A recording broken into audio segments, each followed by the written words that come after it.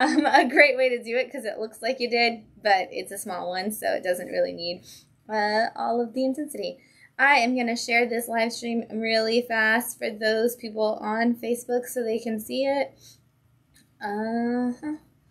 All right. And if you are tuning in, let us know um, a couple of things. I'd love to know if you're winding down your weekend with us, what kind of uh, drinks or snacks you've got while you're watching. And then uh, let's, you know, if you've got some really exciting plans coming up um, or what your favorite comic of the week was. I'd love to hear that. Um, oh, Nick, thank you. Nick says we are streaming uh, live from Mysterium Escape Rooms downtown Sarasota across from the Hollywood Theater. Um, if you haven't been, they have all kinds of cool escape rooms. You have to go check them out. Um, and what's really cool is we've got all the information for you right here at Bat City that's upside down um, about all the different rooms. I think I get this flyer picked up uh, all day, every day. So, Nick, just know that you're probably going to have to be bringing me some more of these soon. Um, and know that if you bring your receipt from Mysterium saying you went and did an escape room, bring your receipt from there into Bat City. We'll give you 10% off. Um, and if you take a Bat City receipt, over to Mysterium Monday through Thursday, they'll give you 20% off of your escape room experience. So, uh, shout out to Mysterium this is a great thing to do for your like if you have friends and family in town for the holidays and you're in the Sarasota Bradenton area. This is a great way to entertain people for an evening. Um, ooh, Ram says he's drinking hot chocolate with a Christmas donut. How festive! That's so festive. I love that. Thanks for tuning in, guys. Um, we are going to dive right into our comics that we have coming out that came out this week um, because there are some of them that are on my favorites list already and some that are definitely going to be added to my favorites list after this week. So I want to make sure we have plenty of time to talk about all of them. I'm going to slide that over. I'm so nervous. I just got, I finally committed to upgrading to, you know, a phone from like the last three years, and I'm now nervous that it's going to break at all times. So, um, we've got out this week, we have issue five of Love Everlasting from Tom King. Um, this is it's on image. We haven't we've been talking a lot about Tom King as what he's been doing at DC Comics a lot recently, and all of the books that he's done. You know, we always talk about Mr. Miracle and the Visions when it comes to Tom King, but I feel like it's been a minute since we've really talked about a big indie book from Tom King, and especially one that's gone in a completely different direction. Um, and this is definitely the one. Uh, this is a woman named Joan who lives inside of romance novel essentially. She is she has the perfect life. She finds the perfect man. They get engaged. And then every time she either decides to or does not decide to marry the man of her dreams somebody shows up that's dressed like a cowboy and kills her. And when she wakes up she's in some other romance novel living out some other romantic perfection and falling in love with somebody only to have it happen over and over again. Um, this has been a fantastic book with this amazing Darwyn Cooke style art. But what's really, really cool about this this particular issue is she didn't wake up inside of another romance novel. She woke up at a therapist office, and this woman is the therapist for people who have problems in their romance. And she knows all about Joan's situation. She knows that Joan's been hopping from one story to the other, and we find out a little bit about who's behind that in this particular issue. Um, we start to learn how Joan is being forced into this situation, but we don't really get the why. Um, but it's it's really really cool. I love seeing this woman who's like all right we're just we got to figure out what your issue is because that's why you keep jumping through all these things. Like you got to stop blaming other people for your problem. And joan is like i literally wake up in a romance novel live it out and then get killed no matter what i do. Like how is this me not taking responsibility for my own problems? Like i don't feel like i made that problem. Um, and then she kind of handles this situation herself this time and she's um, I love it because the longer we go on, the more agency Joan is giving herself within her relationships, which is a great. Um, it's honestly a great look at what Tom King says in a lot of his books is that you do take responsibility for your own actions and you can own the choices you make. And this is doing it in such a cool way. And um, I'm not even the biggest like romance novel person, but I feel like I've read 30 of them this year just from reading the last four issues of this book. And I cannot wait now that we're on a hint about where this is going. I cannot wait to see where it actually uh, ends up. And again, I always say that until we hit like issue eight with Tom King, we don't really know what the book's about. I think we started to see a twist here at five and start to get the information. But I think Love Everlasting still has so much more to give us that Tom King is just starting to tease into the puzzle. Um, if you have not picked this up, you are missing out. And like, if you have a friend friend who's like, "Oh, I love romance novels. I don't like comics," give them this. And if you have a fan who, friend who loves comics, in general, give them this because the storytelling and the artwork is amazing. And if you have friends who are like, I miss Darwyn Cooke, honestly, just throw this book at them, just like in their faces. Um, I'm going to move this so that I have room to put my books down. Um, all right, we are going to switch over to something completely and totally darker than that um, with 10,000 Black Feathers. Uh, this is a part of the Bone Orchard mythos world that Jeff Lemire and Andrea Sorrentino are building together. And this is issue four of this particular one. Um, all of these series are going to be different formats. So the first part of the Bone Orchard mythos was The Passageway, which was a hardcover graphic novel. Um, and then this is a six-part mini. And the cool thing is, is you do get all those like crazy Sorrentino panels. Um, but this is a, a story about a young girl and her best friend. And at some point in the in the past, when they were teenagers, uh, her best friend went missing. And she has always assumed that it was somebody murdered her. She pinned it on a guy who was at a club with them, and they found out that like he had they can't prove anything about him doing it. So she ended up moving off to college and trying to start over again without her best friend. And the only person back home who kind of waits on her is the uh, mom of the the best friend. And at this in this series, she's actually come home, and all of those demons are kind of resurfacing. And quite literally, in some cases, there's something to do with this man. Um, and these feathers and this imaginary world that they created that may have spilled over into their own world and possibly destroyed them. Um, I'm really curious to see who's gonna, if we find out who the murderer is and what we find out, and I'm curious to see how all of these stories connect within the Bone Orchard uh, mythos because there is going to be something uh, that connects them all. But this has just been such a weird, interesting story, and it's very much Jeff Lemire and Sorrentino. They did Gideon Falls together. Um, this is it's just them kind of playing in that same way that they did, where those that loose horror, but that leaves you with that eerie feeling more than anything as you're just kind of piecing together like puzzle pieces of a mystery. Um, this kind of has that same feeling, and we get the back and forth of the when the girl lived there originally and then where she's at now and then all of this weird stuff going on. So if you like Jeff Lemire, you're going to love it. Um, and you should check it out because it's only on issue four. Um, we've got coming back to us. I always, anytime there's a slight five minute delay between issues, I always get sad. Um, but Ice Cream Man issue 33 is out this week um, uh, from Image Comics. This is um, a horror anthology and that for the longest time I wouldn't talk on the, about on the live stream because I figured everybody was reading it and it was always selling out.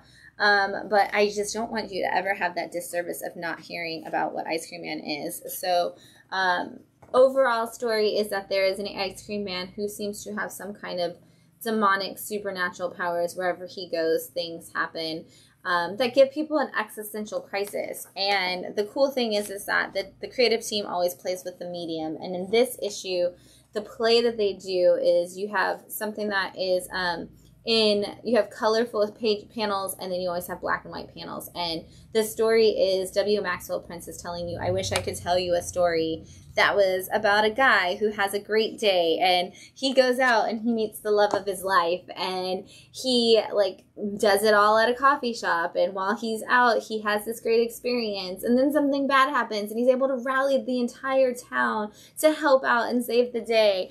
Um, and he's like but but that's not the story that i'm telling the story that i'm telling is about a guy who who never can get his life together and who's always going to be depressed and sad and who goes home and lays awake at night and he just every panel matches like the top and the bottom match exactly in every page so that you can get that story exactly of what he is experiencing.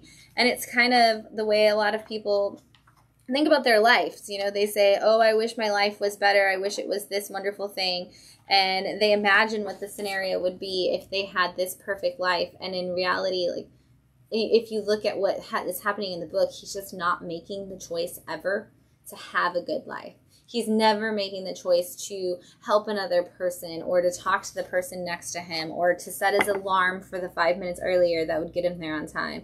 And it's kind of W. Maxwell Prince's, we put ourselves in this cyclical nature of, well, nothing good ever happens to me, but then you just ignore the good thing and you accept the mediocre and you don't move on, um, which is kind of really just the theme of Ice Cream Man all the time is, you know, we we all do this to ourselves and we're always in these existential crises that we build out for ourselves.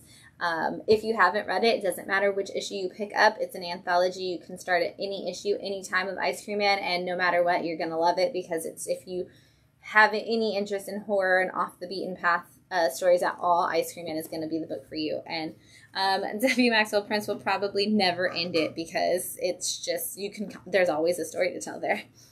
Um, also from Image on the Skybound imprint, we have issue three of Dark Ride out this week.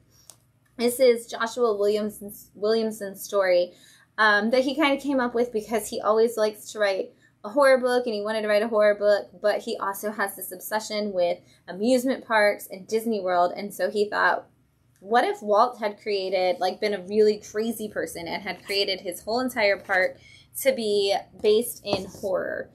And so this is the story of an amusement park that's basically Disney World, but it's all built around horror and it's got a crazy eccentric old man who's in charge and his two kids who are literally named uh, Samhain and Halloween and they're uh, twins, a boy and a girl, and they're adults now, and they're kind of supposed to be the ones taking over. Uh, Samhain, who they call Sam, um, is the one who runs the daily operations, and she's kind of the like the sister is this over the top performer who wants who wants to be included and is kind of the golden child because she does all the crazy stuff. Anyway, these people have this theme park, and in our first issue, we had a kid who was so excited to go work there, and at the end of the issue, he goes missing. And now, our B story in this book is that um, his sister is working to find him. So she has gotten a job at the park, and she is investigating everything that she can. So we kind of are following along as she is trying to piece, piece together what happened to her brother and what's really going on at this park. Um, and stories are intersecting at at this point in issue three. We're starting to see some of the stories kind of intersect, and I really want to see where they go. Um, and how that's going to play out a little bit more and more. And also, um, there might be some demons at this park that even the people in charge don't know about. And so uh, things are going to get a lot darker when we fall into issue four. And I cannot wait for next month when that comes out. Um, from Red 5 Comics, we have issue 3 of 4 of Mystery Brothers. Uh, this is this book has been coming out really really fast so it makes me think it might have had some some delays that held up issue one and two because i feel like one two and three kind of all fell uh, back to back to back but this is a story of a young boy whose parents are separated um, not sure if they're necessarily divorced but they're separated and he's never really lived with his dad uh, who is a great inventor, and he works for a company that's run by a, a name, literally a man literally named Mr. Profit. And Mr. Profit is a very greedy man who just wants to use everybody for his like for his personal gain. And uh, this young boy goes to stay with his dad and finds out that his dad has made him another brother. And we don't know how. We know he's not an android. We know he's like possibly a clone. We don't really know. We're kind of piecing it together. But the dad's big experiment that he was supposed to be working on was actually making android house servants. And um, android goes crazy, something bad happens to dad, and now these two would be brothers are on a mission together to figure out what's going to happen.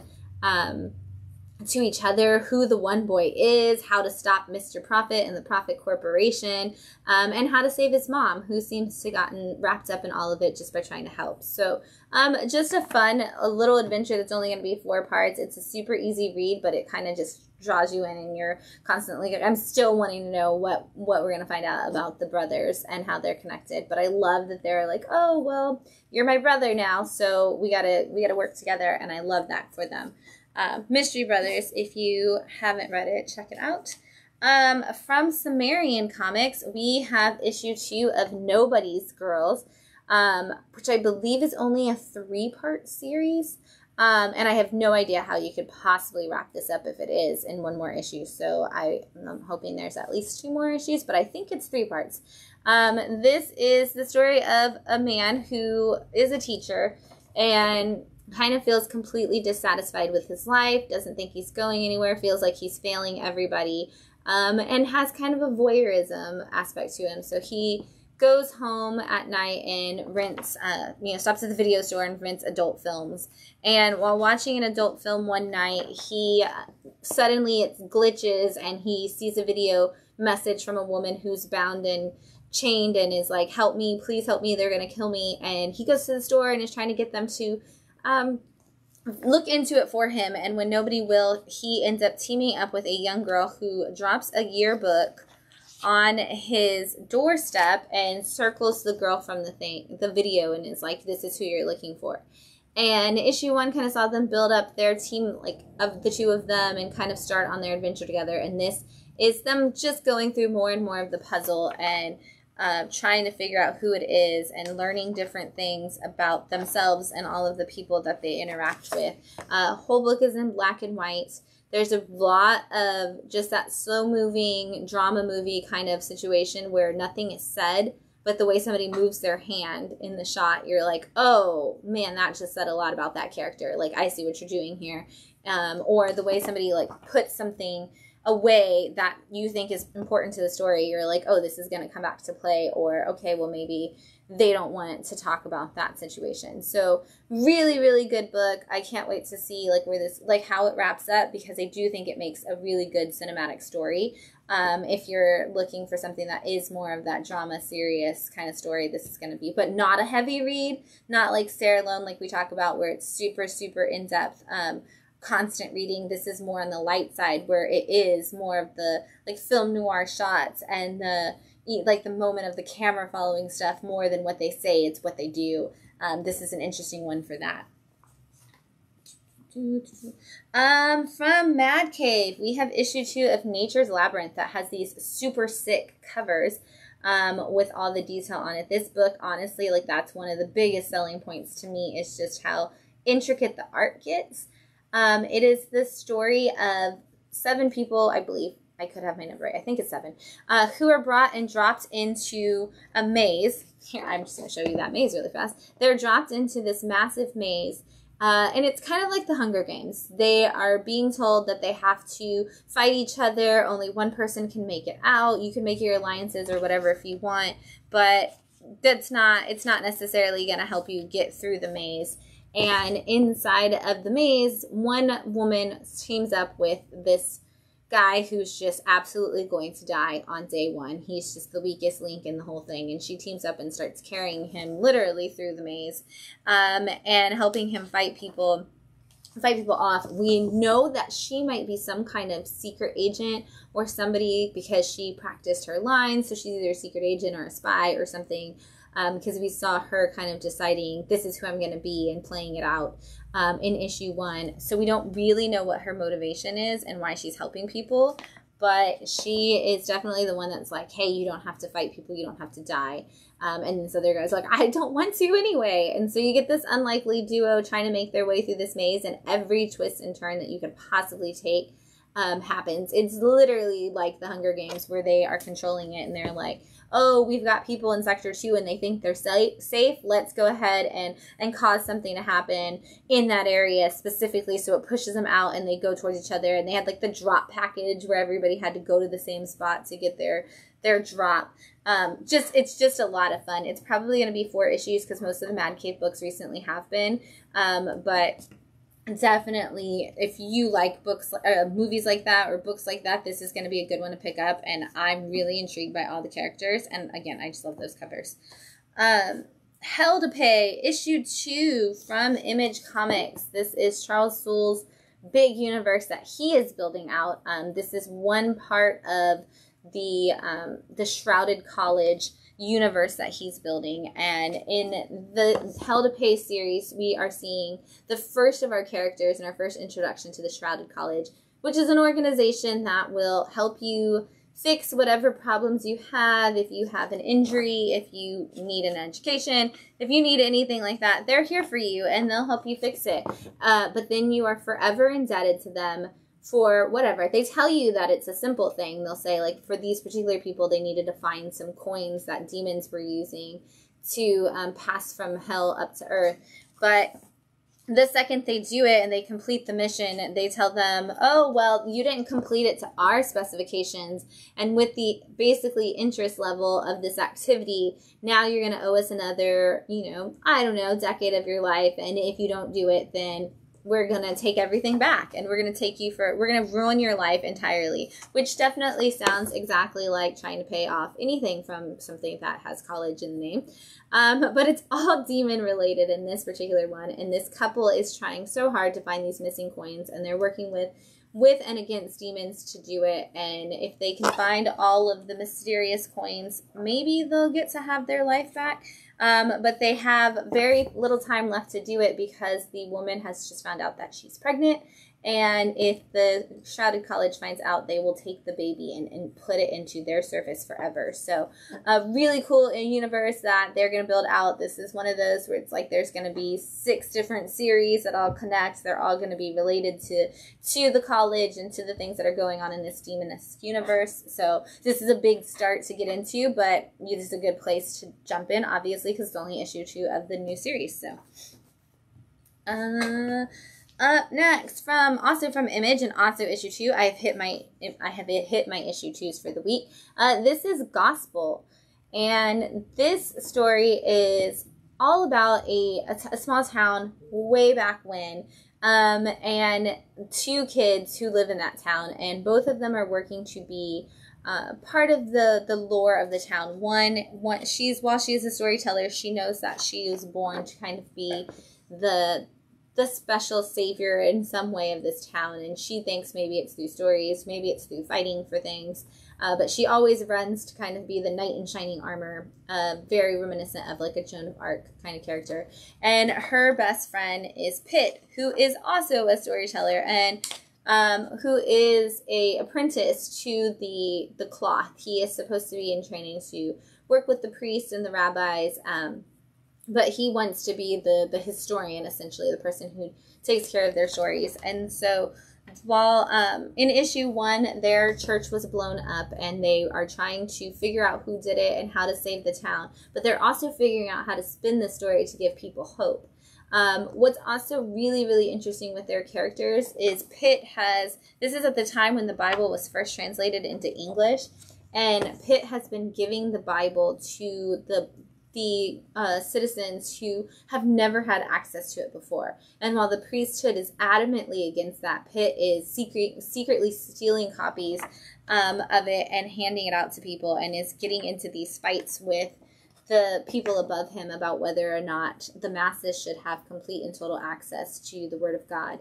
Um, so he's trying to spread the good news in like capital G in, and uh, his counterpart is trying to make up good news and keeps telling him uh, whatever the story we tell people, that's what they're going to believe. So let's make it a good one.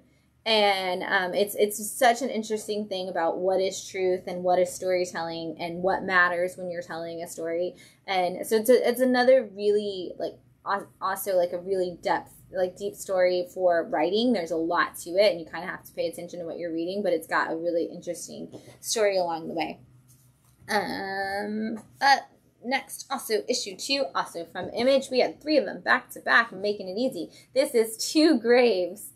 Um, this is it's the story of a young woman who we believe from issue one that her mother has passed away, and uh, she is on a mission to kind of help her like get to a place of rest um, essentially. And in it she is traveling with a grim reaper type character who we know is somebody who helps ferry people at least over to the side of the dead um, in in in his realm. And in this particular issue um, they've made it through the first part of their road trip and they are now in uh, moving from one town to the next. And they pass through a town called Rowlett and a R'lyeh. Um, and it looks like it's a fine, like small town that seems to have like they eat at a diner and things are happening in it.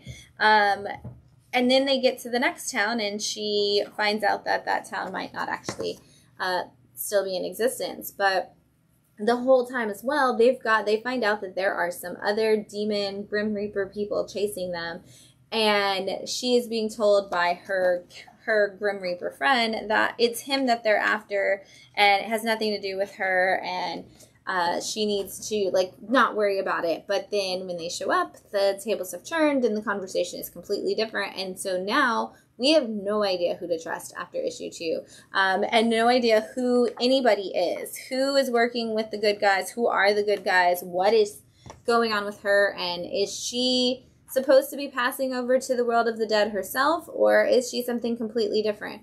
Um, I now get like that, you know, a little bit of the reference for the title Two Graves because we think she's supposed to be burying her mom, but maybe she's supposed to be passing over too. Um, I don't know if that's going to be what it comes out to play like comes into play at the end but i'm really excited to see if that's kind of the reference it's making or if there's going to be something else completely going on uh, we're only two issues in so i still kind of don't know what's going on issue three is that turning point usually in comic books uh, especially in a 12 part series so i think we'll get something in issue three that's like oh my god like that kind of brings it all together but there are some big moments in this issue that are already teasing towards that um, by issue two. So two graves issue two. Always always a good time to check out. I have so many people who come in who are like oh this one sounds interesting and then they're like oh it's image. Well i've known for the last 30 years that i can usually trust that and i'm like you can. Um, there's always some good ones coming out from them. So uh, apparently three in a row on our stream tonight um, from scout comics we have issue three of the life and death of the brave captain suave uh, this is the story of a homeless man who believes that he is a superhero. And so he is he sees the world as a comic book. Whenever we see through his eyes, everything changes and we see him as like a, a Batman or a Superman kind of not like actual like 40s golden age superhero. And in issue 1, he meets another he meets a kid who is probably a teenager, probably in his early 20s, and he is um homeless as well and he's kind of seems to have a problem um, with possible drug or alcohol addiction. Um, but Captain Suave takes him in and decides to make him his sidekick. And so, in his eyes, he sees him as a little kid who dresses up like a Robin kind of situation, and they go on these adventures. And there have been some incredibly beautiful moments with the way Captain Suave sees the world, and there have been some hilarious ones where he saw some construction workers and he thought that they were bad guys and they were trying to attack something, and really it was like a barrel that they were moving, but he ran after them and he attacked them all. Um, and you see it again play out like a superhero story in his eyes, but then in reality, you are flashing back and seeing it. Um, great conversation, obviously, about um, mental health and.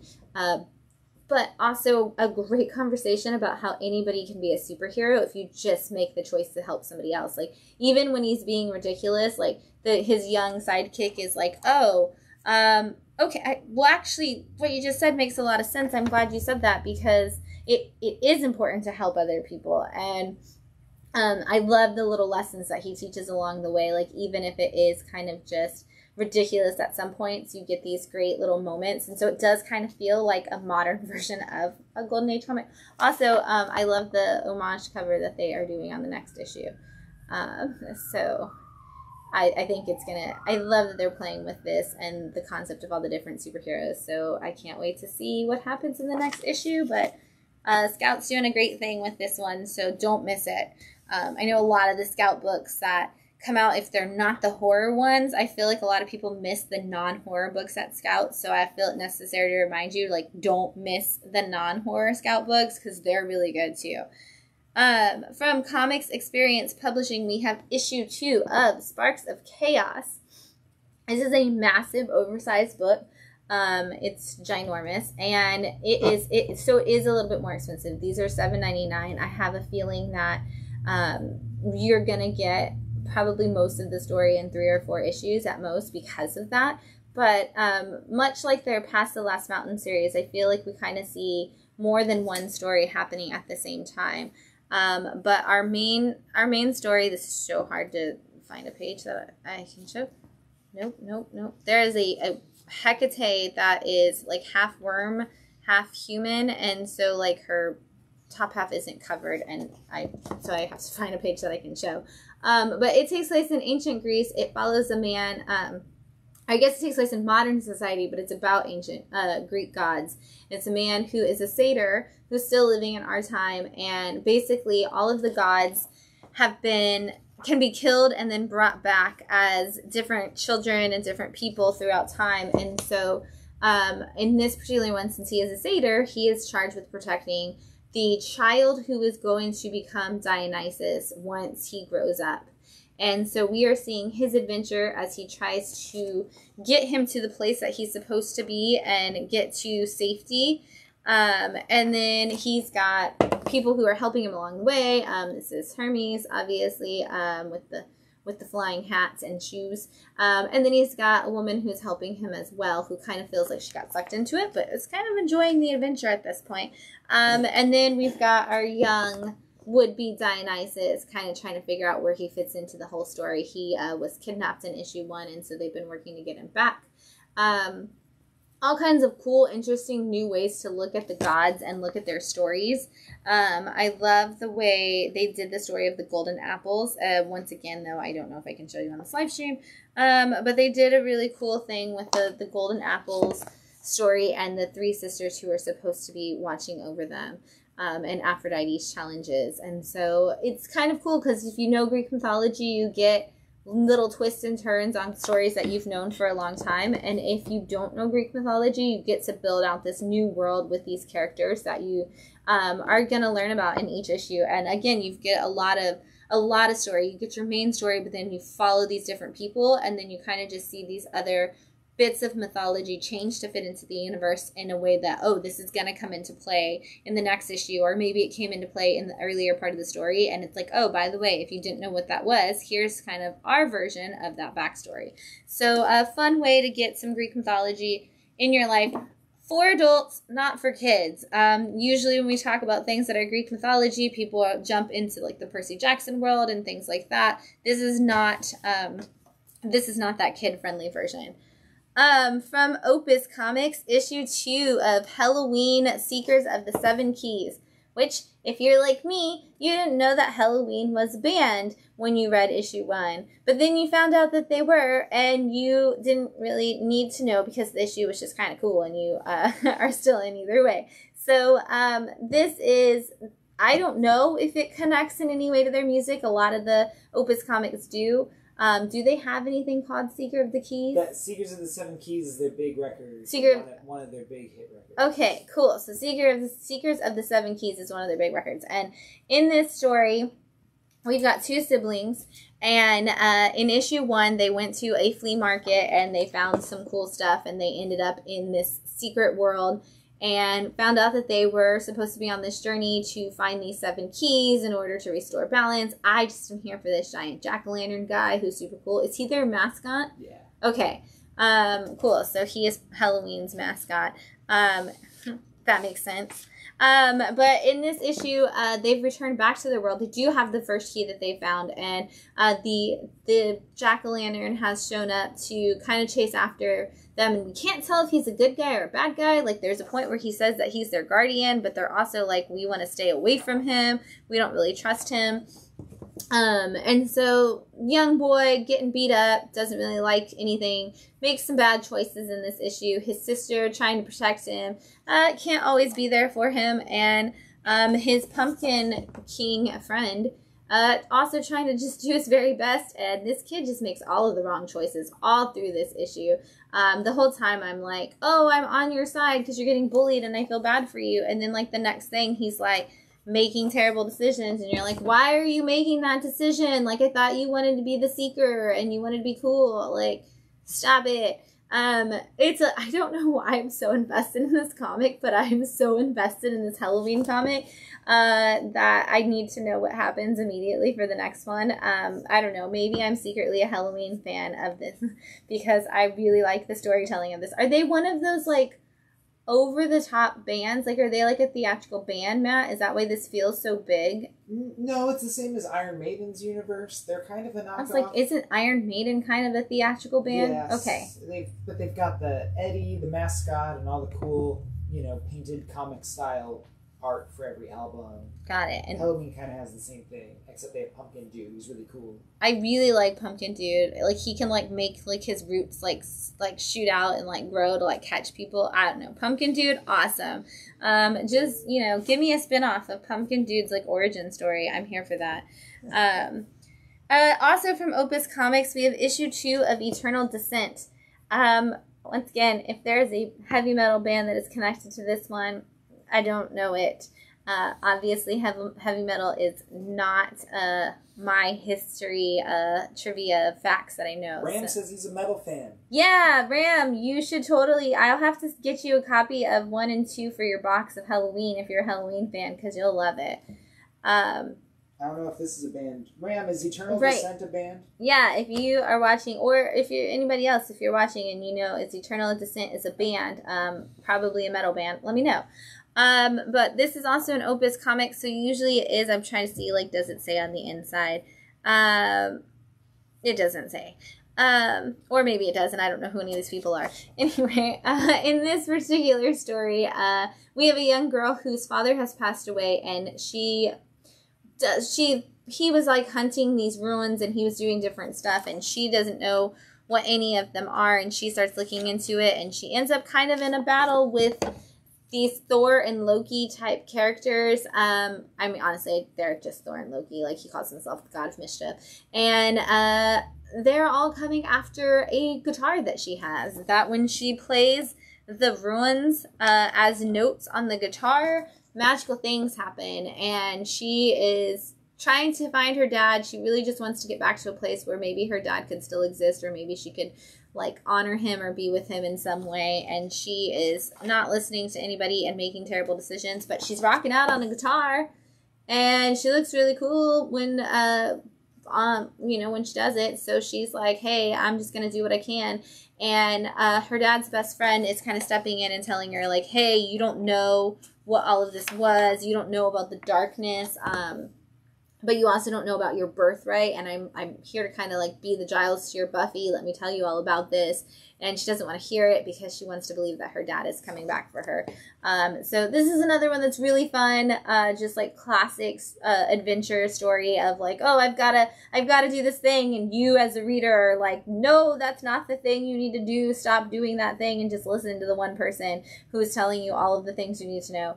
Um, and yet you still follow along and you get excited about it. And uh, now I want to know if uh, these runes actually translate to the same notes on the guitar that she's saying they do. But um, that's a question for somebody that knows more than me. Um, nothing more metal than creating a comic series about your band's mascot. Yes.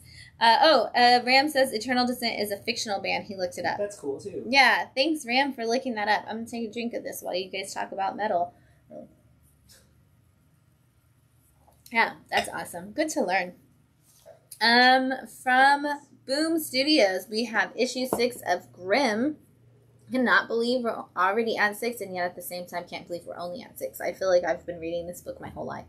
Um, this is in a good way, by the way. Um, this is from Stephanie Phillips, who um, I really love. I love everything she does.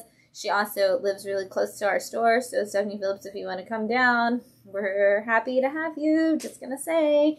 Um, but if you haven't started Grim, Grim is the story of of a, a group of Grim Reapers. Um, we find out that there's more than one Grim Reaper. It's actually a very corporatized position.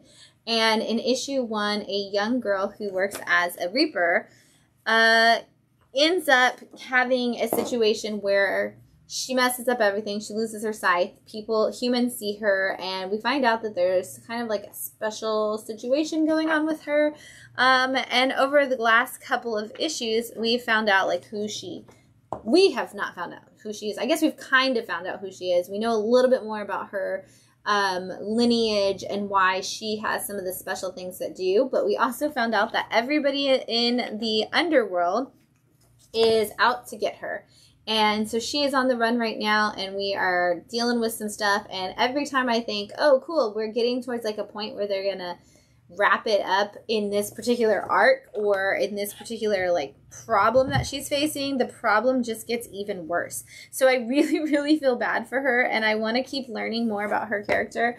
Um, I want to dive further into this corporatized master of death situation, um, and I want to just keep building out this world. I hope it's like something is killing the children, where the first volume was kind of just like, oh, we're gonna go on this adventure and we're gonna solve this particular case, and then it's like, oh, people really like this. Let's make it even bigger, and I hope we get a big world out of this um, as it continues to grow because there's definitely a lot of room for this to just inflate incredibly. And I think Boom was putting a lot of stock in that as an idea at the very beginning, and I hope they keep with it.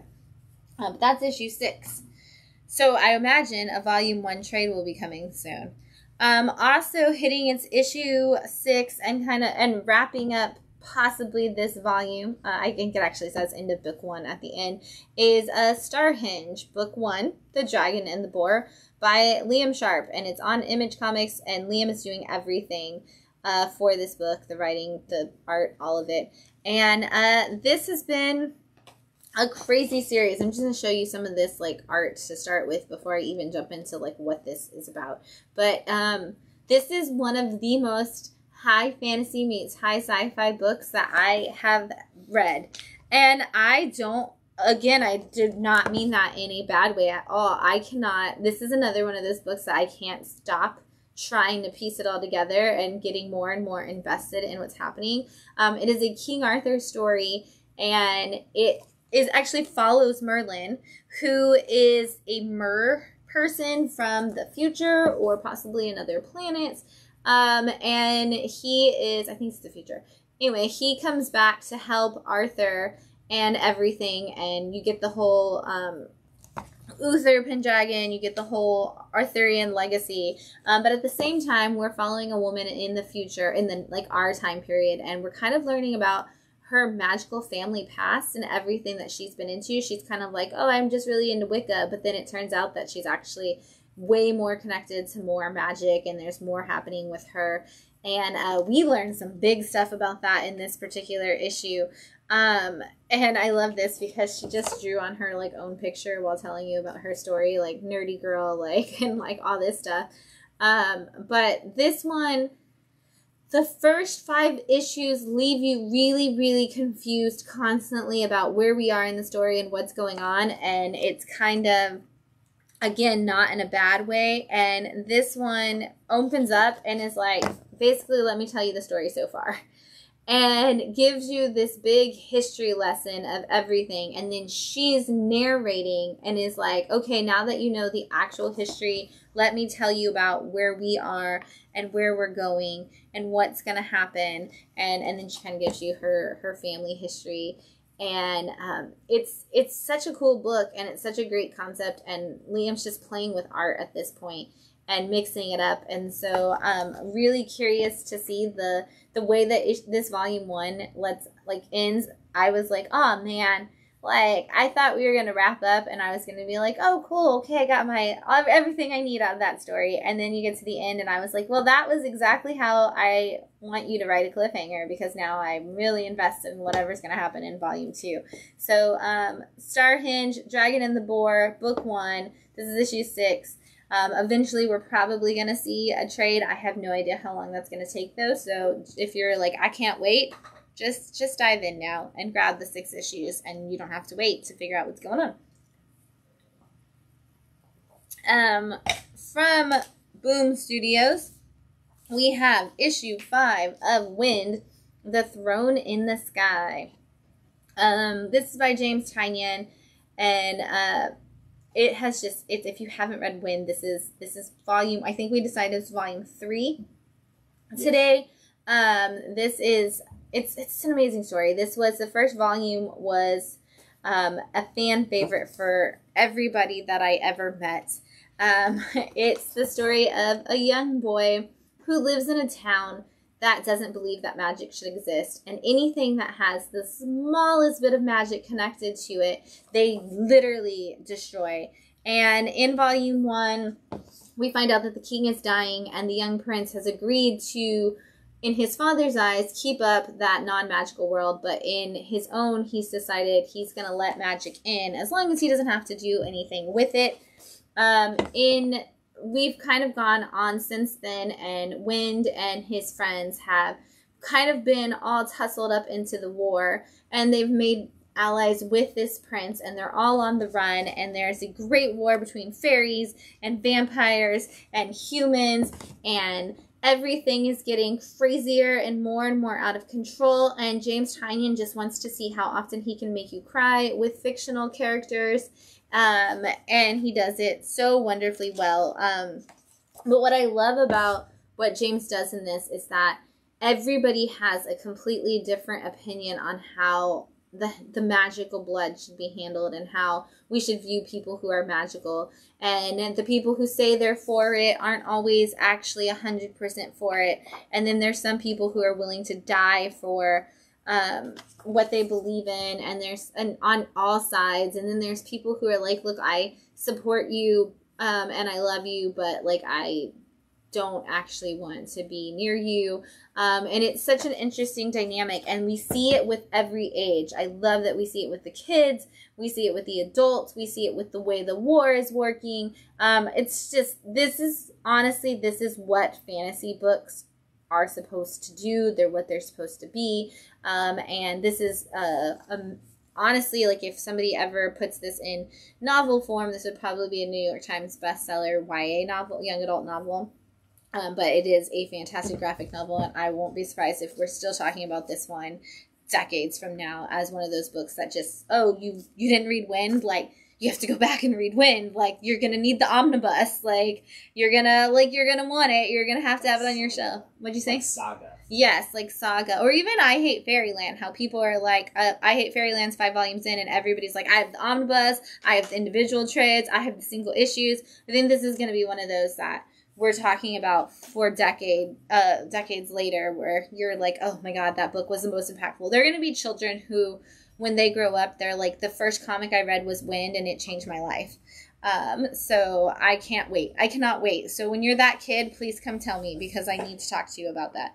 Um, wrapping up this week, and I almost cried when I got to the thing and it said the end, um, is Jonna and the Unpossible Monsters. It's from Oni Press. And it's issue 12. And seriously, um, I'm not okay with the fact that it ended. Uh, but I am okay with this all red cover because this is dope. Um, I love, love, love this cover so much. I, as soon as I took it out of the box, I, I sent a picture to Wednesday Phil, who does the show a lot, um, and was like, dude, did you check out this Jonna all red cover? Like, it's so good. Um, and then we, we sent gifts back and forth about how much we love it. Um, but this book has been amazing. It's done by a couple um, the Samnee couple, a husband and wife, who wanted to make a book for their daughters. And one is the older sister who's bossy and always on top of things, and the other is the younger sister who would rather just smash things than figure them out. Um, it has had some of the best art the whole way through, um, and a beautiful story about these two sisters kind of wanting to keep together no matter what, no matter what monsters come their way, no matter what people get in their way. They're just trying to work together to keep each other safe. And if they happen to find their parents along the way who've gone missing, like that would be a great thing to them. But as long as they're together, uh, they're they're fine. And um, there was a beautiful. I thought there was another spread in here that I was like, I have to make sure I show that one. And um, oh, even this one's fantastic. The the center page. Uh, the this issue, I literally cried. Um, there's some stuff that happens between Jonna and her sister, and uh, one of the things I love is that Jonna doesn't really speak. She's almost completely nonverbal, and so her sister is always trying to to um, be a representation for her and help her along the way.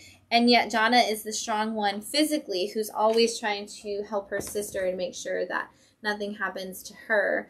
And um, she's always running out and fighting monsters and sacrificing herself in the moment to make sure that her her older sister is safe. and um, it's absolutely beautiful book. It's great, great, great story for young readers because it does have that balance of a lot of uh, of some dialogue and then non-dialogue scenes. So you can just you get those silent pages where you can kind of learn to infer from what's happening. But as an adult reader, when you get to those silent pages, they are some of the most heartfelt, tugging on your emotions pages you're going to get. This has been a phenomenal book um, quite honestly, it's one of the books that made me like since Scott Pilgrim. It's probably one of the big books that's been made me go, okay, we need to pay attention to what Oni Press is putting out, um, and it's, it's so good. So if you didn't read Jonna and the Unpossible Monsters, there is a um, volume one and volume two trade, I believe. Um, I want them since it's only twelve issues. I hope they put it all together in one though at some point. Um. All right, we got some number ones. First up from Legends Publishing we've got Bonecheck. I have to uh, look at that like several times um, because I always want to say Bone Cheek, but it's definitely not Bone Cheek. Um, this is a interesting story. Um, I'm like, who does it really follow? It follows kind of a couple people, but I guess the main character is is this particular guy, and uh, he is a mercenary who goes to this bar and it's kind of reminded me of Deadpool because they go to the bar and he's sitting there drinking and then like the pool of options of people he could go after come up and they're like what's it gonna be um, what I do love about it, this art is fantastically colored. I love the orange and black and red, and that being kind of the only tones that it is. But it's so cool because it's written in prose format a lot of the time, and then blends in the comic dialogue at the same time. So like you'll get some pages that are completely either narration or actual speech bubbles, and then you'll go to the next page and it's um, almost entirely prose over the course of the two pages. So um, we follow him. He ends up taking a case and he has to go out on it. Um, and oh gosh, I just want to show you every page. Um, he goes out on this case and he gets in the taxi that is hired by the company and the taxi driver is un undead taxi driver and he's like oh where's it gonna be? Like what's going on? And you get a really funny story with the taxi service and the way that guy is. Um, i'm literally just flipping to almost every page of this book at this point. Um, honestly like the art draws you in and it keeps you like focusing. I was reading this uh, the other day and i didn't know it was to be a prose book a lot of the time and so i started to get to the point where I was like, oh my gosh, like I I'm not I'm not getting all the information that I want to get. So I like stopped and went back and like waited until I was really awake so I could pay attention to all the prose in detail because I didn't want to miss anything about this guy. Um, we don't really know anything about him yet. We don't really know anything that's going on, but we do know that he's on a mission. Um, and he is going to take some people out and it's going to be kind of crazy. So if you're looking for a new publisher and you kind of like that darker art, um, this is going to be a good one for you. I just, I put this in like three people's boxes this week and was like, I don't know, the art screams your name. I hope the story does too. So check it out. New publishers are always fun. Um, uh, from Red 5, we've got Machine Girl's holiday special. Um, I didn't know who Machine Girl was and uh, I got this issue and I was like, oh, I guess I should probably look up who Machine Girl was. And guess what? They did all that work for you, which I super appreciate. Um, it's like they knew that you might not know who Machine Girl was. So the first couple pages of the issue are actually just her. Um, I went too far. Are literally her telling you who she is and what all of her other books are called and what they're about and where you should start if you want to get to know who she is. Um, she is a half human, half android. I guess not half, half, half. She is part human, part android cyborg situation. Um, and she was made in a lab. And this is kind of just some stories about different holidays. It starts with a Halloween story, actually, um, where she wants to hear some scary stories, and she tells her her dad, the man who raised her from from a little android human cyborg thing. A, she asks him to tell her a story, and he tells her this really dark story about his time working uh, in the lab and uh, how all of these people like were tormented and destroyed by a worm that either caused you to have visions of the darkest thing that you could imagine or gave you visions of um the perfect utopia. And then when the worm crawled out and you were no longer in that utopia like people just like clawed their eyes out or like went crazy and she's like that's not really how i thought this story was going to go. I don't think i'm ever going to sleep again. And then he, she's she's an android so he just pushes a button and she goes to sleep. Um, and then we get some christmas stories for her.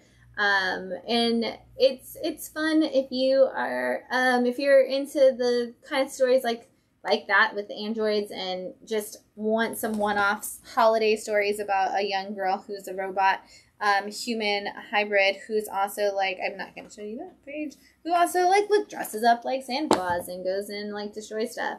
Um, it kind of feels like a dynamite comic in the storytelling and the art. So if you are a fan of you know Purgatori or like uh, red sonja or even vampirella like this is probably to be a book that you would enjoy.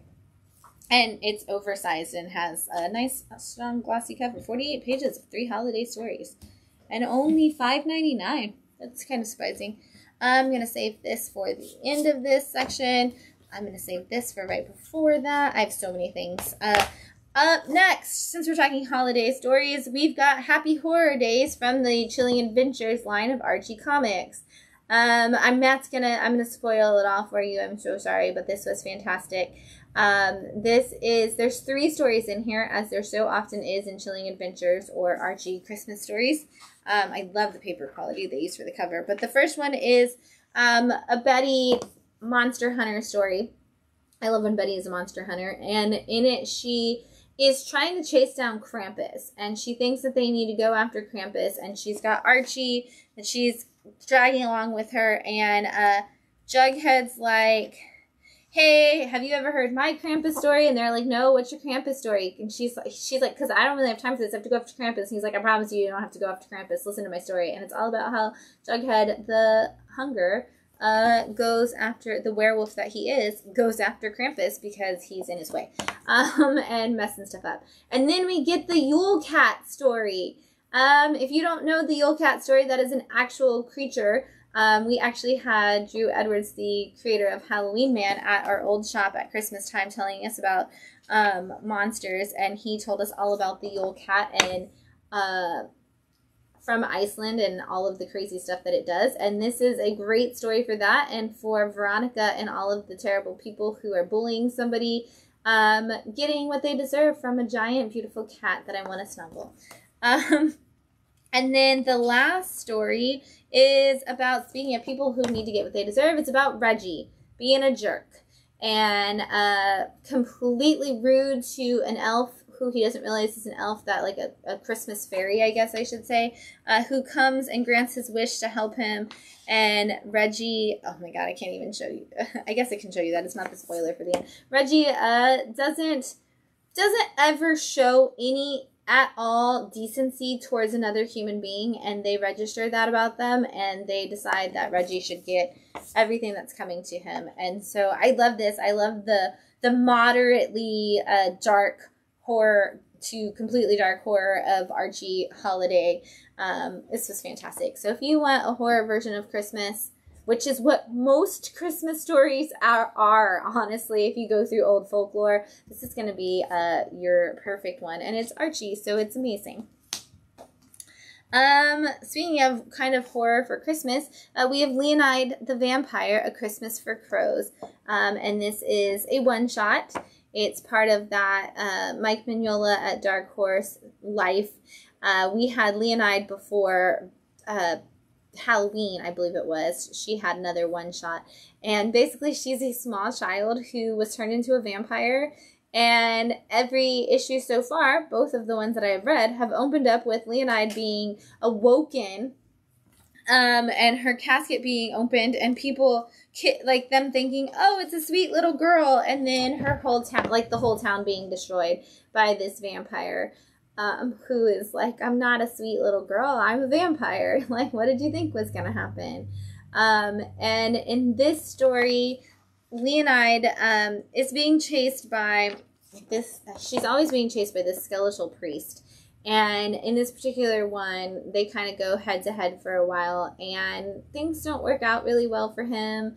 Um, the story gets gets a little dark and honestly she gets a little lonely and she is visited by some ghosts and she has kind of like her own like she thinks it's going to be a christmas carol moment but it's it's kind of not um, i love it because again you think it's going to be one thing it's constantly changing but uh, i love I love I just love this this cool art and this little girl vampire and all of her moments and just how she kind of celebrates Christmas on her own and how she turns it into a thing.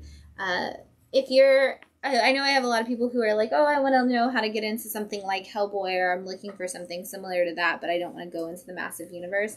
Uh, Leonide is one of those where it's like it's not necessarily Hellboy, but it is Mignola, and so it kind of gives you a feel for what that universe might feel like if you if you jumped into it, and it's a one shot. Um, I love it. Oh yes, thank you. I can have a drink of wine. And what are we drinking? It says Volde. It's a cab sav. Again, it's from our, our subscriber and friend Jamie, and it's um, Moldovan Cabernet. Moldovan. I I don't know what that means. Um, but it's uh, it's a cab sav. It came out of Jamie's Advent calendar, um, which is fantastic, and um, it's it's it's really good. It has a protected geographical indication. What does that mean? I don't know either. But you can scan to discover more. So maybe next time I need to scan the QR code on the back to learn more about the bottled wine before. Um, and I think that's because it did come out of the Advent calendar. So it's a mini bottle, which is also cool, but it kind of gives you a chance to like learn more about the wine so you know which ones to go back and pick. Uh, so thanks, Jamie. I don't know if I've said thanks at all. I just keep saying Jamie gave it to us. Um, also from Dark Horse, we have issue one of Assassin's Apprentice. Um, I thought this was going to be another one that was like from the world of something because it kind of looks like a video game on the cover. So I thought maybe this was a video game. Might still be, don't know. Um, but this is the story of a young boy who is dropped off uh, in a kingdom, and he's dropped off kind of at, uh, with this man who takes him into a bar and says, Hey, this is the son of the prince. And in this world, everybody's kind of named by their virtues. And they kind of are supposed to live up to it. And it's Prince, oh my gosh, what is his name? Prince Chivalry. Prince Chivalry is the one who has the bastard son. And they're like, well, that doesn't seem like it makes sense. And they're like, well, here we are. He has a son. And of course, his wife is Lady Patience. And so they're like, oh, well, we can't, we can't cause this to test the lady. We don't want to do that. Like she's already more than lived up to her name. So they make the little boy sleep because the man doesn't know what else to do. He leaves the, the man, the little boy to sleep with the dogs in the stable because uh, he thinks living leaving him with any of the soldiers or in the soldiers' quarters would be a terrible idea. So he leaves him with the dogs, and at night he has these beautiful dreams that are super bright and colorful of him with the dogs. And then the dogs become his protectors. He bonds with one of them, and he finds out that they think that he should come to the castle and he needs to be a part, like the a part of things. And the prince doesn't feel the same way um, but the king and the king to be don't really care, so he is sent to live at the castle, and things are gonna shape up from there. Um, seems like he might have a little bit of magic, um, or at least has uh, something going on special with him. So I'm kind of curious to see what's gonna happen, and we still don't know necessarily who the assassin is. So I don't know who he's apprenticing for, but I'm very curious because I really like the characters in this. Um, sometimes in the fantasy books, I'm like, oh, that was a lot of like the knights and this and that, and I'm not sure if that's the direction I want to go in. Um, but this one seems to be very, very character driven, and all of the characters have been uh, written really well. So I'm excited to see what that's going to do and where that's going to play out for them. And I really want to know more about this little boy because he doesn't really get to speak a lot at all in the issue. Um, ex- but he has the narration a lot of times about his relationship with the dogs and how he feels and how he feels about things. So, um, and I'm not sure who the overall narrator is now that I think about it. So I'm really curious how this is going to play out because there are a lot of layers to this book that haven't actually like unfolded at all yet. So I'm, I'm definitely in. Um, honestly, I think if you're enjoying something like Dark Knights of Steel, this is going to be an indie book that you can fall into that's going to have a similar feel. Um, and it's issue one, so now it's time to pick it up. Uh, says Merry Christmas, and I want to say Happy Birthday, Stevie. Um, that was like two days ago, I think. So happy birthday, buddy. I hope it was an awesome day. Uh, thanks for tuning in, and, and of course, Merry Christmas and Happy Holidays. Um, from Image Comics, we have issue one of Night Club, which is Mike, uh, Mark Millar's new one. That's not in any way, shape, or form connected to anything else. Usually, when we get the new Mark Millar, we're like, oh, this is connected to his spy universe, or this is this. This is a new story, and the coolest part about the whole thing is that it is a dollar ninety nine, and every issue is going to be a dollar ninety nine, and I think that is amazing.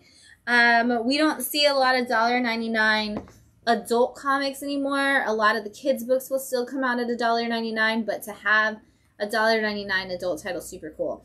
And um, this is the story of a young boy, a teenage boy, I should say, who is like, hey, I want to be a celebrity, but I want to do it like a YouTube star. So I'm just going to do a bunch of stupid stunts and uh, if I get hurt in the process, like that's cool because people will give me more views and I'll get sponsorships. And um, first he tries to do is he thinks he's gonna ride his bike across rooftops and uh, downtown in the city, and a dude hits the edge and falls down and breaks his back in like five spots and ends up in the hospital.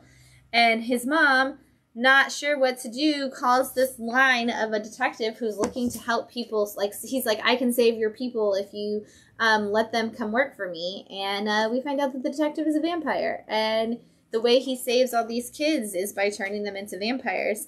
And um, he tells them he's got a special task force. He's trying to get people again to help him out. They're supposed to be using their powers for good, kind of basically becoming superheroes um, and working for the positive things. And there's more to it that he won't tell us, and there's some secret information uh, that seems bad.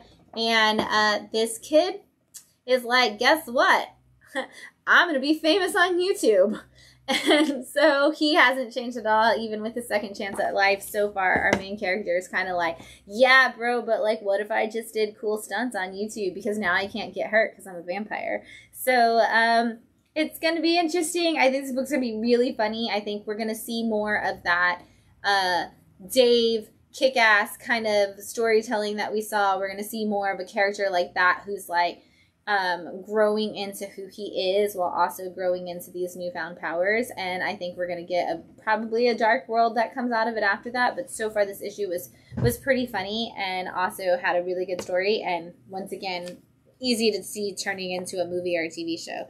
So, uh, hey, Uncle Jim, thanks for watching. I hope you're okay. Can't wait for you to um, come hang out with us. So, uh, um, from Boom, we've got book one of a vicious site, a vicious circle. Um, and did not know this book was coming in in prestige, like magazine format, and totally threw me off when it came in. Um, but I had so many people coming and asking for this book this week, and I'm not surprised when I read it. I was like, oh, this makes sense.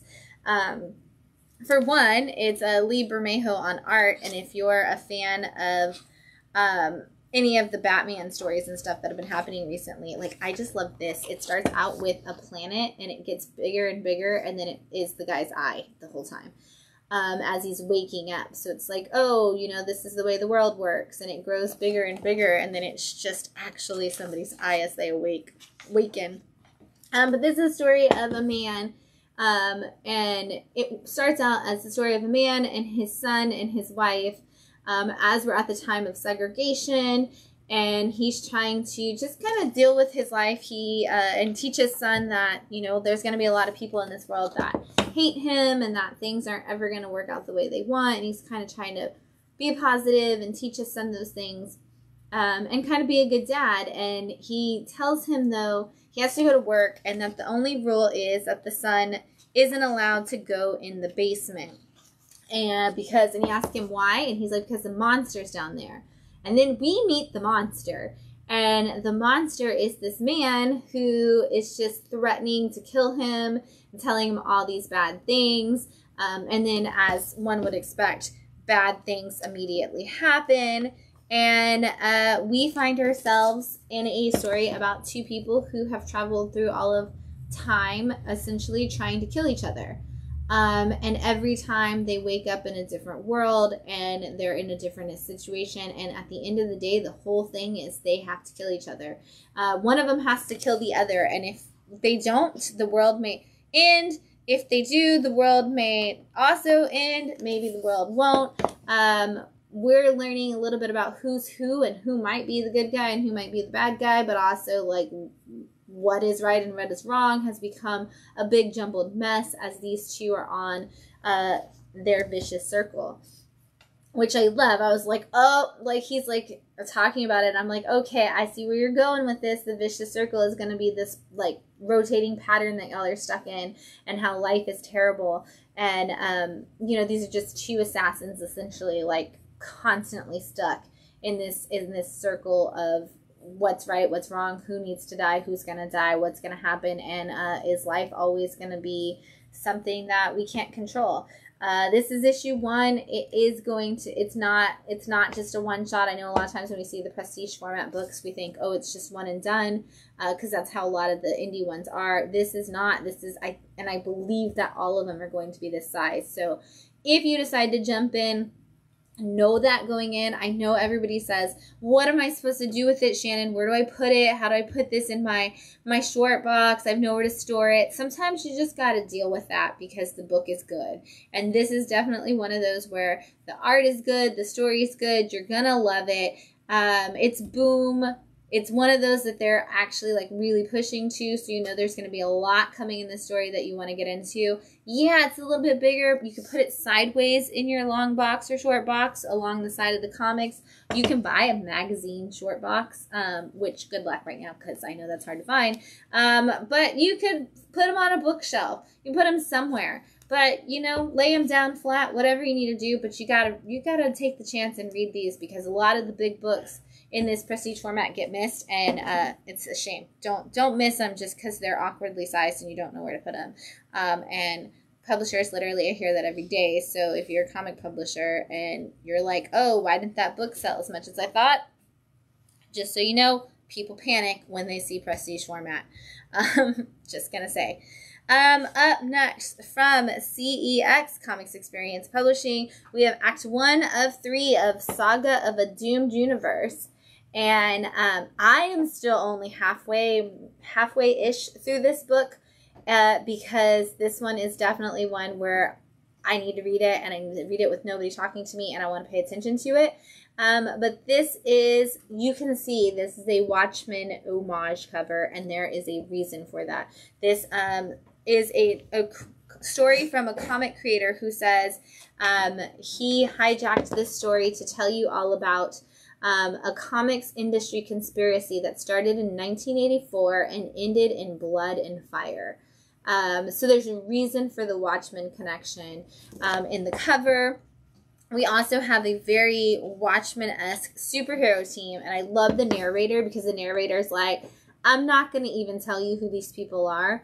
I'm not going to talk to them. Like, you shouldn't talk to them. There's no reason in talking to superheroes because they all are ridiculous and they think they're better than you and they're not listening when you talk anyway. Um, and then they have some of their dialogue and the narrator's like, see, I told you they're ridiculous. They say things like that and they think that it matters. like, what is going on?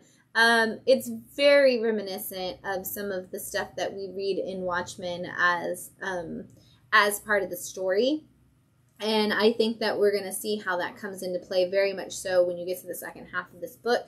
I have not gotten there yet. I don't know what the thing is that we're trying to stop. I don't know what dooms the universe, but I do know that I like this art and that this story is deep. It's uh it is 8.99 for this issue. It's a very, it's a, once again, it's an oversized issue. There's a lot to it. This is one of those books where you're going to pay $8.99, but you're going to get a square bound book that gives you a lot of story and a lot that you pour over. Um, I have a feeling that this is going to be one that um, once it's over, like in three months from now, people are going to be like three months after the whole thing's over, people are going to come in and they're going to say like, "Hey, did you ever hear about this this book, Saga of a Doom Universe, I feel like I hear about it in all these podcasts and I didn't grab it and I want to know if it's there. So be the one who grabs it.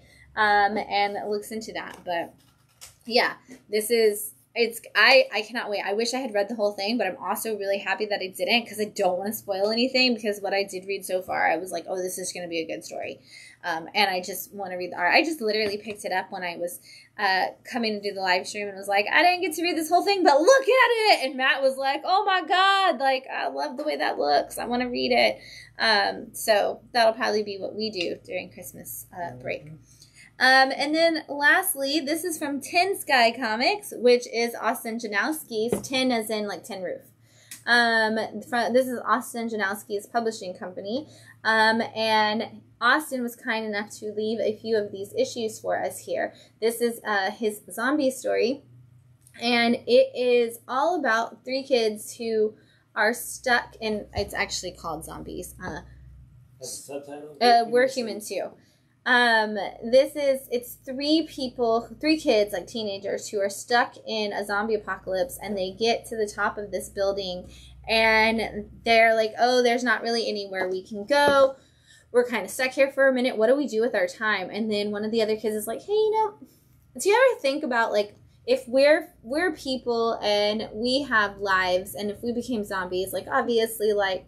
we have a before life. Like all of these people probably do too. Do you ever wonder like what their life was before? And so they each take turns telling a story about one zombie they see out of the crowd, and um, they have different art. Uh, art teams or creative teams in general behind each of the stories in this. So for each person who tells the story, we get a different creative team. And the first story is all about a kid who doesn't even notice the zombie apocalypse because he's too busy texting on his phone while he's walking down the street. And all these zombies are chasing him, and he's kind of just like talking and texting and doesn't realize that the world is ending around him. Um, and then we get the second story is all about um, a guy who is a complete klutz and works in a lab and trips and mixes a bunch of chemicals together. And they're like oh don't worry it'll be fine. And then the zombie outbreak starts. Um, and then the third story is fantastic because um, it is about one of the zombies that they see out there who is actually a mime and I love this story because he is he's uh, you know his mime so even as the zombie apocalypse is starting, his whole story, of course, is silent, and you see him get dressed and go out, and like he's just doing his mime life thing and enjoying the day, and then notices all the zombies. And I love some of the paneling as he realizes like there's no way out of the situation. Um, let's see, like when he's realizing that like there's no way out of the zombie apocalypse, and he's going to um, definitely get bitten and become a zombie. I love, I just love the mime faces for it. Uh, what a great way to do a zombie story.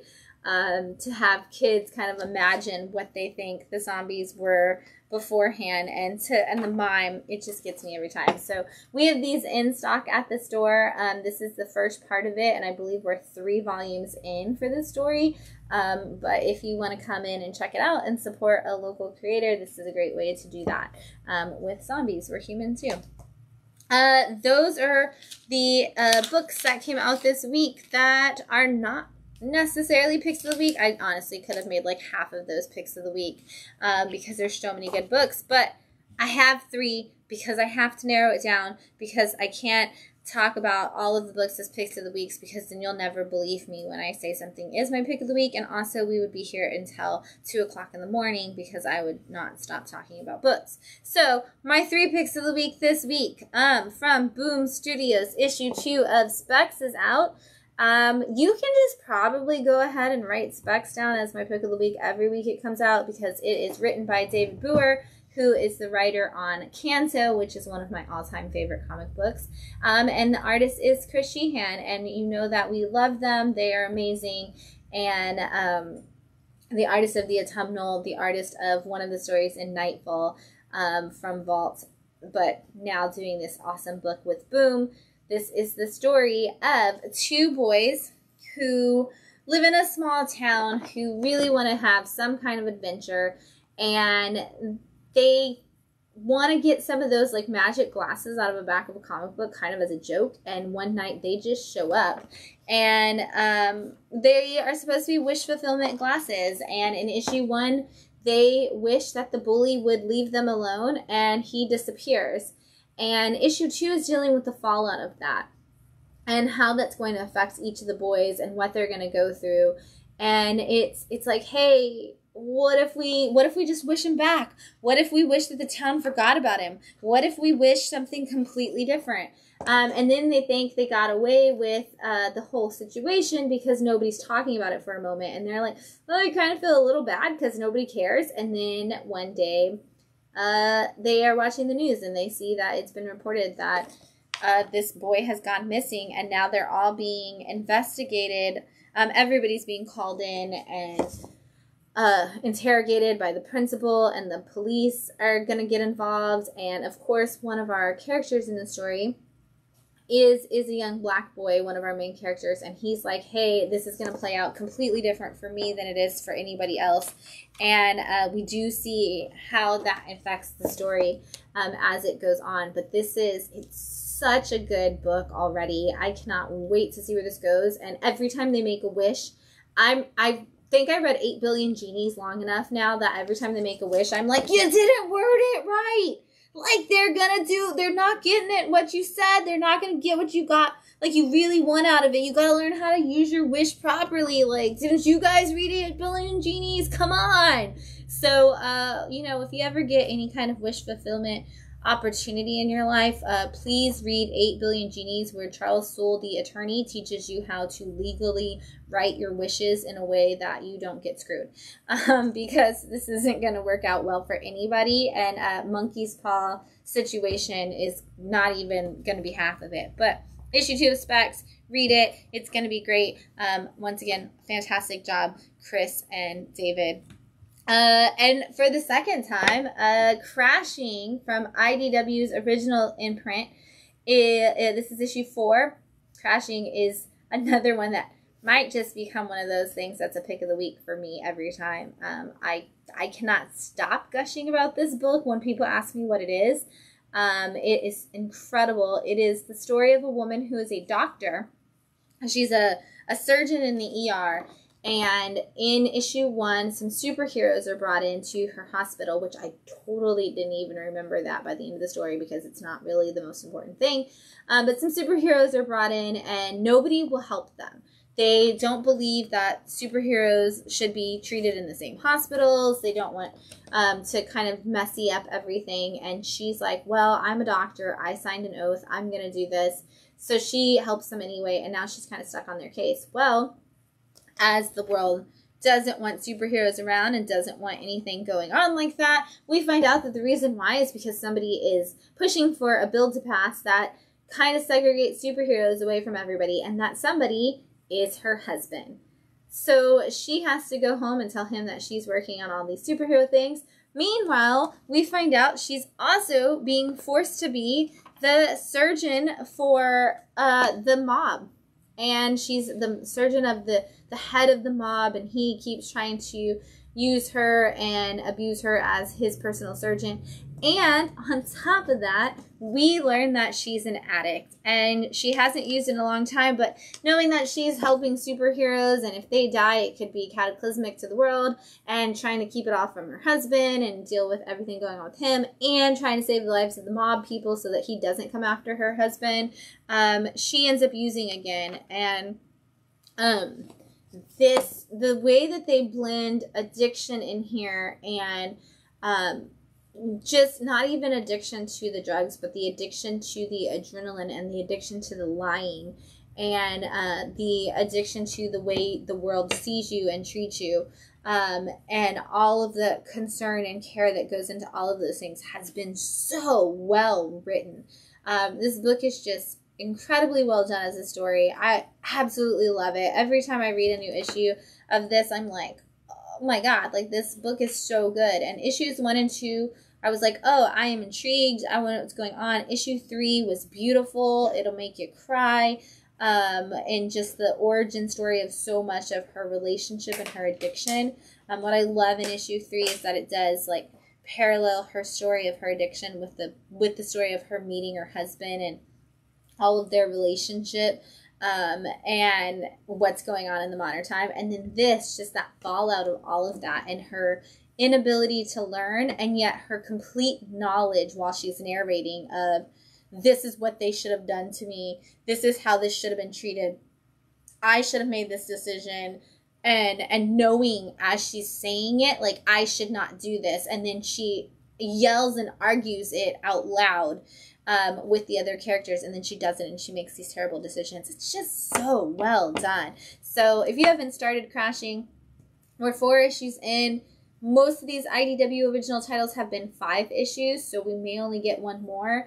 Um, either way, don't wait on it. Just come grab issues, uh, at least issue one, and get started on it because it's so good.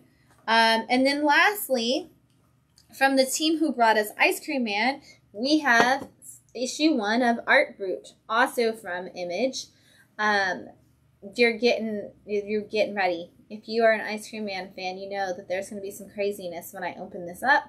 If you haven't read Ice Cream Man, this one's going to be an actual ongoing story, not an anthology, it seems.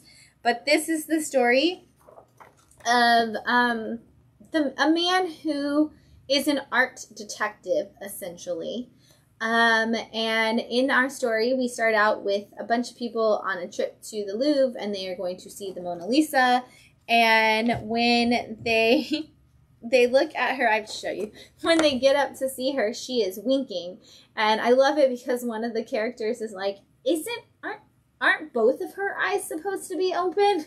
And it's like a confusing point, like like they didn't know that the Mona Lisa wasn't winking, and they panic and they're like, "Oh, call the Department of." Whatever it is, it's some ridiculous name of these people, and it then transfers us over to a woman who is the head of that art department, art investigation department, as she goes into um, a, a mental institution, and she is meeting with a man who is a patient there. And he is, his name is Arthur, and he is our art brute. And we find out that he is an art detective, and the way he does, he has a, a tiny mannequin, a wooden mannequin named Manny. And Manny has a full name, and I need to look at the book to see it. Um, he is, uh, oh my gosh, what is it? Do to do. It's ridiculous. I don't want you. I maybe I should. Manford Morrington Wood, the third to be precise, is his name, and I'm just going to show you that page now that I brought it up. Um, but what we learn about our art brute is the way he works and the way he is able to see everything and help with all the art stuff is he can go inside of paintings. And he lives in, like, his preferred way to live is inside of the world of art. Um, and we get to see him do that and kind of take the detective around with him into the world behind the canvas. But at the same time, we get to see some other random little stories. Like we see a, a young boy who um, is on the way to possibly a similar like mental institution or situation with his mother. Um, and he may he he may be connected to all of the crazy stuff that's happening. Um, this is gonna be a really good story, honestly. Like you already get the fun art that you get in Ice Cream Man, you get the weird eccentricities, you get the funny jokes, you get all of the like the world is a weird, strange place, and I'm just a part of it.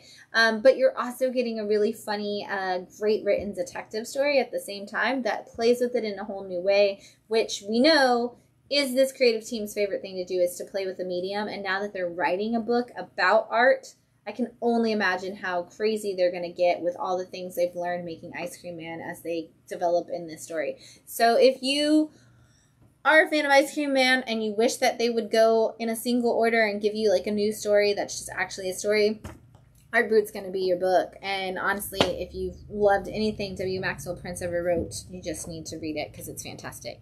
Um, I'm gonna take another drink before.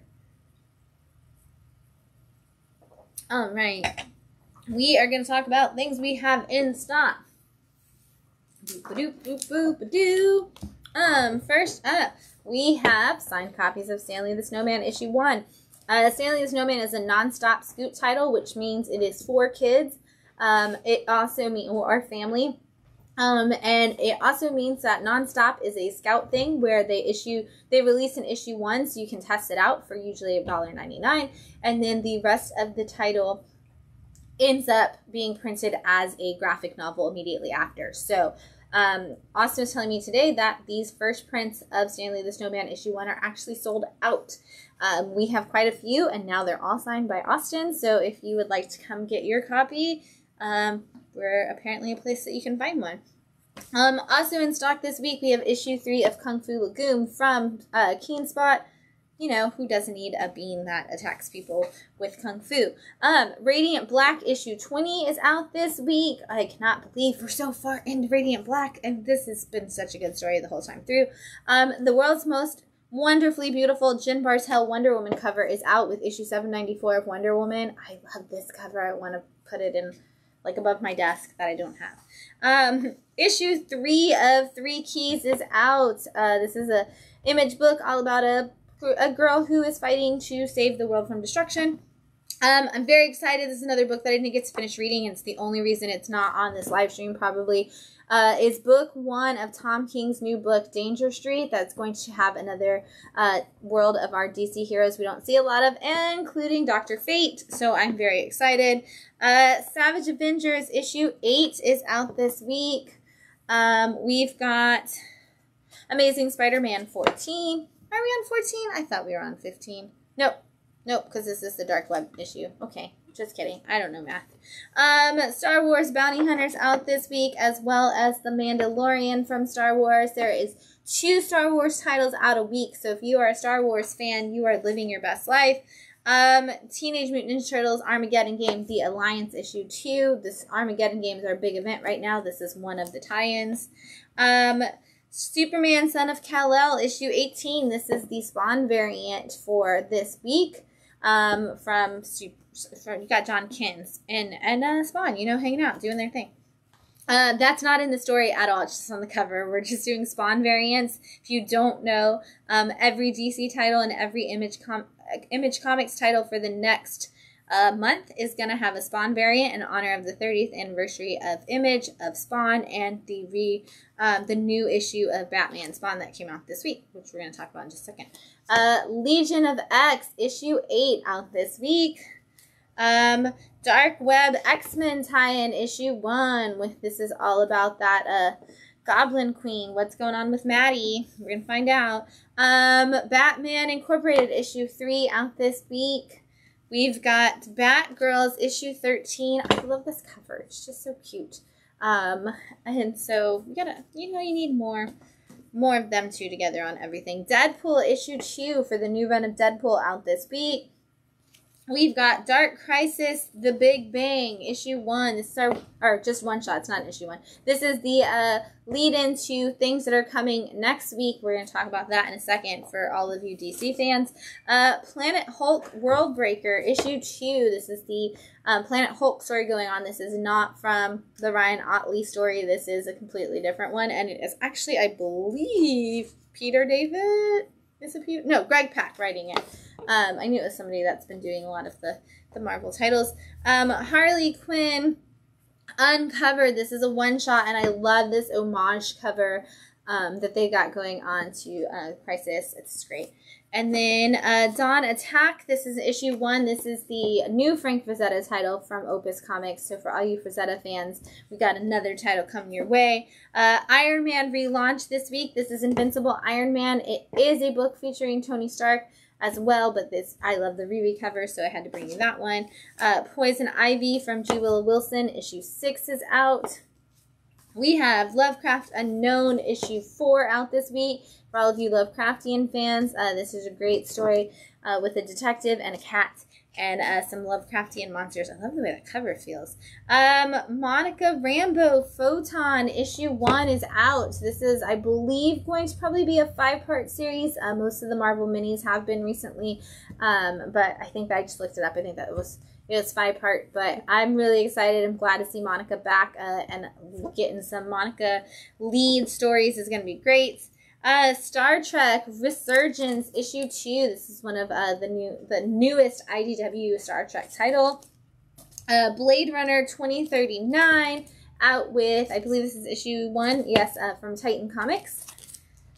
We've got Lord of the Jungle issue two. Uh, I love this cover. This this has been a controversial cover this week because everybody has been trying to decide if they like when it looks like the damaged posters.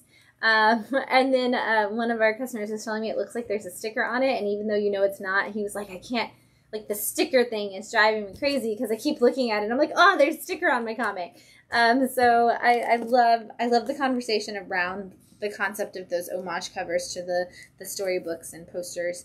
Um, Shirtless Bear Fighter Volume Two, Issue Five is out this week. You know what's that bear and that man up to? We'll find out. Um, Wildcats issue two, also the Batman Spawn cover. So um, this is Matthew Rosenberg writing a Wildcat series, and everybody has been coming in talking about it since issue one. So um, if you liked Wildcats in the '90s, apparently Matthew Rosenberg is making you love it again. So um, Rick and Morty versus Cthulhu in the most like artistic cover I could have possibly designed for a Rick and Morty versus Cthulhu. It's like fine art cover. It's hilarious. Um, I this I know a lot of people have been excited for this one, so we have a ton of different covers. Um, Resident Alien, the Book of Love, issue two of four. If you are a fan of the show, this is a new series to kind of jump in on um, give you some more story before the show gets caught up. Um, and then lastly, this week, issue uh, one shot of Batman Spawn. Uh, this is a thing that happened, a crossover that happened in the 90s, and we are doing it again. Todd McFarlane, Greg Capullo, all of your DC uh, and Spawn people that you could want jumping in on that. That's why you have your DC Spawn variants. It's why you have your Image Spawn variants here it is. If you missed it, most of the crazy covers are sold out at this point, but we got a couple more cover A's if you want to jump in. Um, and then we got some trades. Woohoo! Very excited. Okay, uh, they're all new, so I'm going to start somewhere else because, oh, this one's not. Okay, so the non-new trade this week is we have uh, volume one or uh, issue one through four, however you want to look at it, of Naughty List. And this is uh, the man behind the story of Santa Claus. This is uh, the Saint Nick himself. We see him in the modern times, and he finds out that somebody stole his not his list, and they are using it to um, do terrible things. And one of them is human trafficking. And Santa Claus doesn't play that way, so he is going after this person and going to destroy them. Uh, from the Star Wars universe, we have volume one of the Star Wars Obi Wan Kenobi current series that's ongoing. This is issues one through five. Uh, if you didn't get a chance to catch it, uh, this is your chance. Um, from Image Comics, this is the entirety of Bolero, which were all oversized square bound issues. So this is a massive trade, and it's only seventeen ninety nine, which is crazy for how big these issues are. I'm gonna can I lean it down? Is that cool? Look at that. That is thick. This is only five issues of a story. And it is the story of a woman who um, feels like her life is like she can't get the, none of her relationship ever work out and she feels like it's always somebody else's fault or it's like timing or something like that. So she ends up making a deal where she goes to this portal and she meets this cat who kind of controls time and offers her 52 chances to hop between different worlds, but you can never go back to the one you've already come from and you can only do it 52 times and then you're kind of just stuck in the last one. And she keeps getting to the point where she has a fight and like she gets her perfect relationship and then she has a fight. Or um, something goes one of them has to move or somebody cheats on somebody or something. And she uh, decides that she doesn't like that world anymore because her relationship didn't work out. And so she just jumps to another one and she keeps doing that until eventually uh, she realizes she's not the only person who's doing that. She's not the only person who uh, has trouble in their relationships. And what she learns is that maybe uh, you just have to actually work through problems and not just try to run away from them. Great story of and super cool art.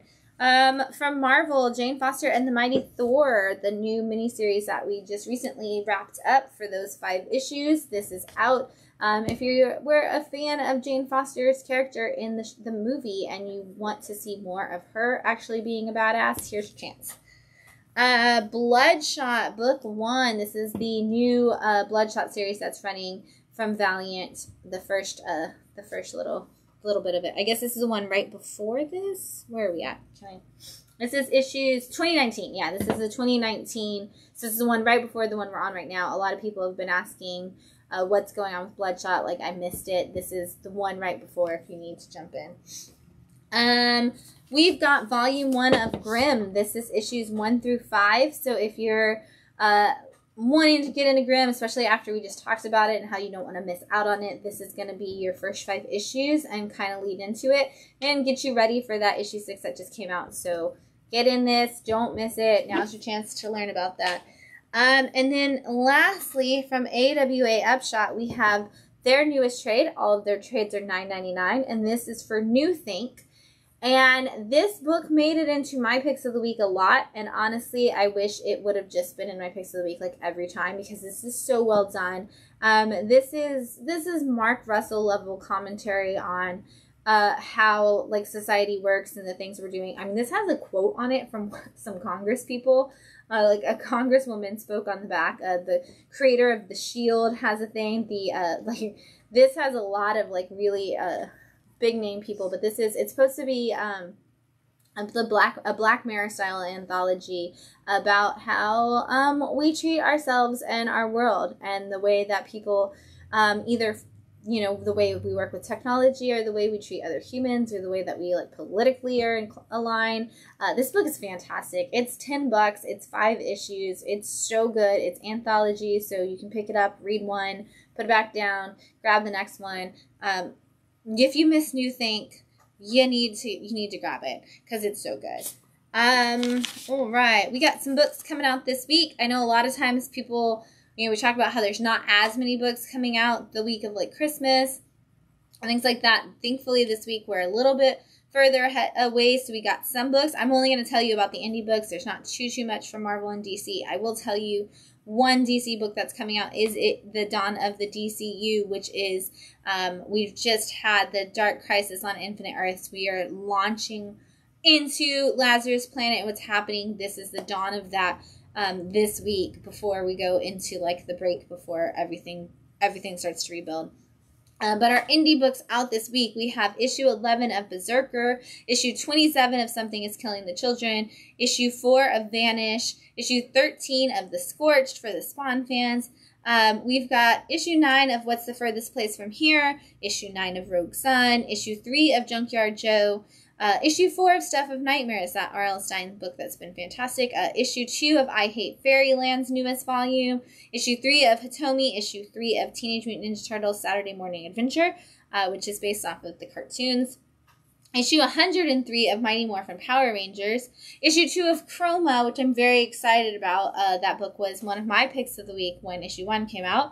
Um, issue 8 of Death Dealer. Issue 3 of Volume 2 of Eve. Issue 4 of Boogeyman. And finally, issue 4 of Breakout. This book has been delayed for so long. It's Dark Horse title. It was it was one that issue one was the pick of the week, and issues two and three, I think we talked about how they should have been. Uh, issue four is finally here, like a year later. Um, Department of Truth has a one shot called Wild Fictions, it's coming out this week. Ghost Planet issue one. True Cult issue five. Deadliest Bouquet issue five. Voyages issue two. Uh, Traveling to Mars, speaking of Mark Russell, uh, issue 2 is out this week. Good Boy, volume 3, issue 2 is out. Uh, IDW's newest original, Dead Seas, launches with its issue 1. A Legacy of Violence, issue 3 is out. Cover the Dead in Lime, issue 3 is finally out. I'm very excited. Um, Bone of the Gods, number 1 from Scout, as well as Road Trip to Hell. Uh, number 1 from Scout is also out this week. Mysterium, issue 2 is out, and since we're talking about it, don't forget to check out Mysterium uh, and their escape rooms over on uh, over in Sarasota, across from the Hollywood Theater. They've got a bunch of escape rooms that are super fun. Uh, you can take your receipt from Bat City Monday through Thursday and save twenty percent off of your escape room experience, or you can go to the escape room and then come to Bat City any day of the week and save ten percent off your purchase. Um, and while you're here, you can grab the comic. Um, issue three of Sulphur Wells is coming out. Also been a long time. A Blood Moon actually just Blood Moon Comics just posted. I think it was like yesterday or the day before on um, on their LinkedIn that they had publishing delays and they are finally uh, caught up on all of them. So I'm excited to see these titles already out next week. Um, Curse of Cleaver County number one, Heaven's Rejects issue four, Argus, the Argus issue three, and Highball issue four from Ahoy Comics. So there are still comics coming out this week. Don't miss them. Um, here at Bat City, we will be open on Wednesday. Stay tuned for more information about what the rest of our schedule will be like for Christmas. Most likely, uh, we do know we will be closed Friday, so it's just kind of wait and see what Thursday is going to look like. We'll be closed Friday and Saturday and Sunday, though, for the holiday. Um, we won't have a live stream on Christmas. Um, just in case you thought we would, probably not going to do a live stream next Sunday. Um, please enjoy the time with your family and friends and whoever you're spending your holiday with. We hope it's a good one. Um, we hope it's it's a wonderful time. We hope you're safe more than anything. Uh, we will see you this Wednesday in the store for New Comic Book Day. If we don't, we will see you sometime next, not this next weekend, the weekend after possibly sometime soon. We'll talk about comics on the internet and we'll wind down your weekend. Have a good night. Bye and happy holidays.